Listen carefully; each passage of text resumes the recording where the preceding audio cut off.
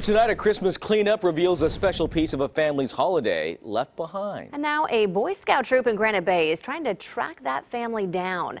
Scout Troop 121 was in the middle of its annual fundraiser collecting old Christmas trees when they found a baby's first Christmas ornament. There it is. It has the year 2017 on it as well. The boys say it just didn't feel right to throw it away. Uh, we were at the Miners Ravine Reservoir, the reserve, in the middle of the parking lot, and it was laying on the ground.